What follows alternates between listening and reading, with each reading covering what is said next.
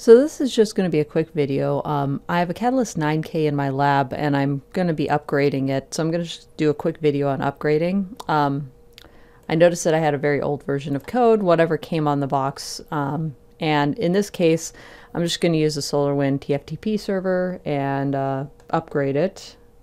This isn't the most complicated video. I have a console connection into it. So I'm just going to go through a couple things real quick. So if you're you're using um, like if you're doing a remote uh, install, for example, TFTP is fine. If you're just doing it like you're directly connected to the switch and doing an upgrade. If you're in production though and it's sitting out somewhere remotely, you probably want to use something like FTP. In my case, I just like using the SolarWinds TFTP server. Um, it's actually really easy and quick to use. Um, uh, FTP would be a little bit different if I was using that, but if you decide to upgrade using the TFTP server, a um, couple things you just want to know. Um, it'll be really slow for some of these bigger files unless you change the block size. So I go in and I just do, you know, IP TFTP block size, and then I change it to the max, which is 8192. And in this version of code, um, it does support some in, uh, install commands. So I'm going to use the install command of uh, install add file and I'm going to use TFTP. This is my TFTP server IP and copy the file name. And if I do activate, it's gonna, that means it, here I'll just, uh, so activate means to install the package. And if you, if I do, um, so I'm gonna, and it, it after it, uh, downloads it from the TFTP server, it would, should uh, install it and reboot immediately. So we're just going to go ahead and do this really quickly, and I'll mute this while it goes through and does the download.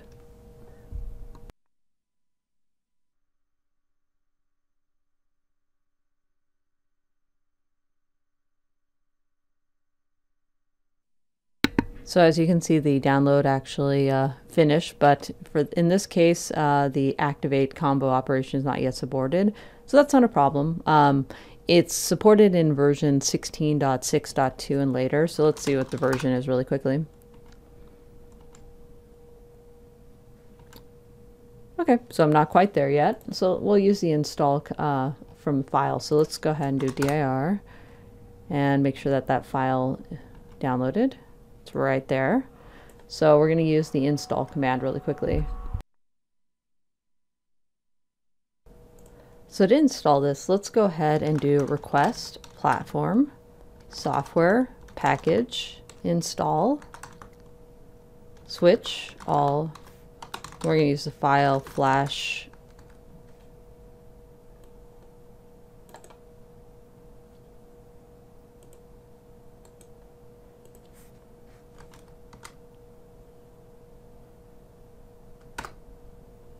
and watch it install from here.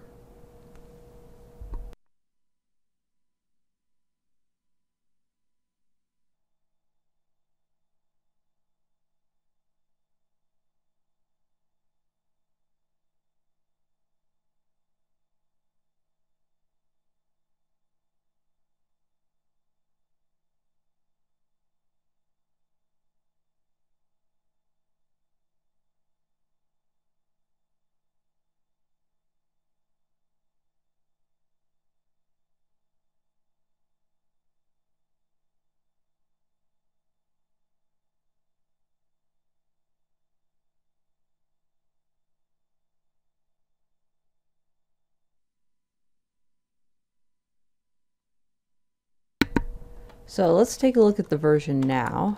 Show version.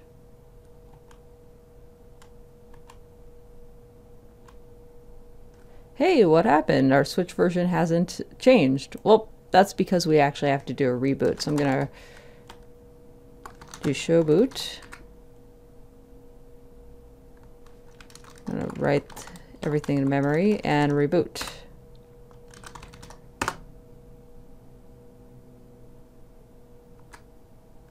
Reload. Oop. So I'm going to reload now and we'll watch it uh, install from uh, while it's rebooting.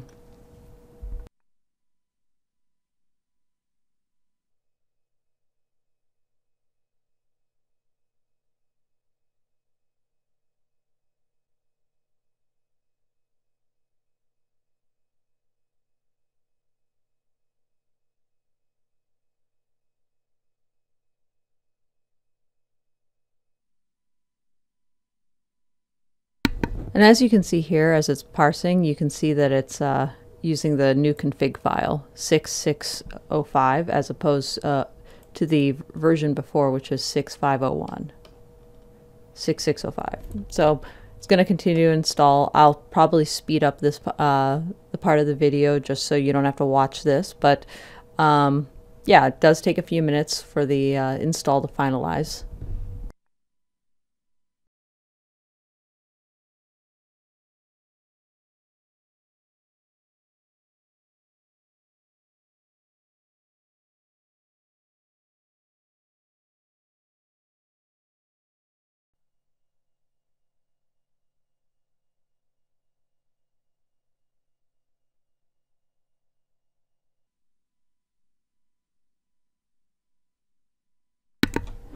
All right, let's go ahead and take a look now. It looks like it's up and running, so I'm going to go ahead and enter my username and password. And let's do a show version really quickly.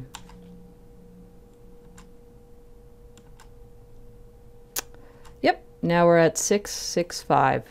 So with that, I'm going to finish this video. Um, not really else much else to do here. Um, next video, I'm going to do the NetFlow configuration for the Catalyst 9K and um, ETA, turn on ETA as well. Um, the only reason I did this video is because there are slightly different uh, uh, commands for in, install upgrading the code. Now, for the it, as of uh, 662, you don't really need to use request platform anymore, though. Um, so you can can still use some of it, but now it would be install, you know, install, you know, you would do an install file and blah, blah, blah, and, and you'd be able to actually upgrade this code separately install activate yeah it's install activate file and then I'd be able to actually specify the file instead of having to go through request platform software package install switch all file flash. Is the the original uh, command that I used before kind of a mess and you have to not really something that rolls off the tongue. This is a little bit easier as of 662 you can just do install activate file and if you have the file already saved on you can do it that way. So in this case it would be um,